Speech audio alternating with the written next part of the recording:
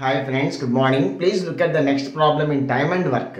Friends, problem is given in the description box. See friends, A is 40% more efficient than C. A is 40% more efficient than C. That means if C can do 10 units of work, if C can do 10 units of work, then A can do 14 units of work, 40% more than C. And B is 50% more efficient than A. 50% more efficient means 14 plus 7, 21. So A can do 14 units of work per day, B 21 units and C 10 units. Now it is given that A and C together completed the work in 45 days.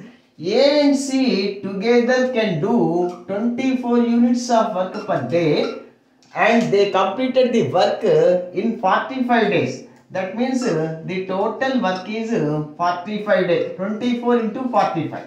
The total work is 24 into 45. A and C together can do 24 units of work per day and uh, they completed the work in 45 days means the total work must be 24 into 45 units.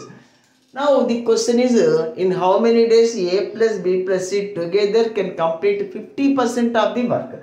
A plus B plus C together can do 14 plus 21 35 plus 10 uh, 45 units. So A plus B plus C A plus B plus C can do can do a full work in 24 into 45 by 45 units per day they do.